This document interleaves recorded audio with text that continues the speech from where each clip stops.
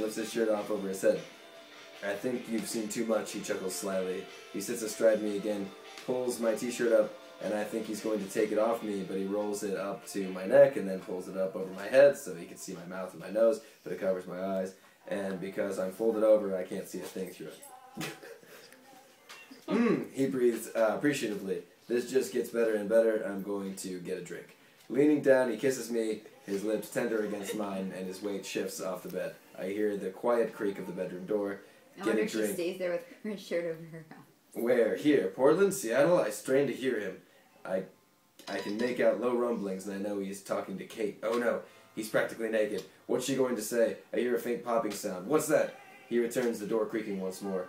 His feet padding across the bedroom floor, and ice tinkling against glass as it swirls in liquid. What kind of drink?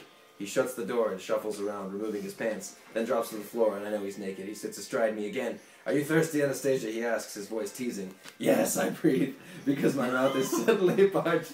I hear the ice clink against the glass, and he puts it down again, and leans down and kisses me, pouring a delicious crisp liquid into my mouth as he does.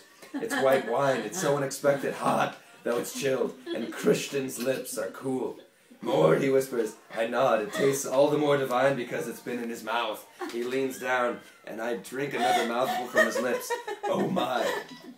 Let's not go too far. We know your capacity for alcohol is limited, Anastasia. Who talks like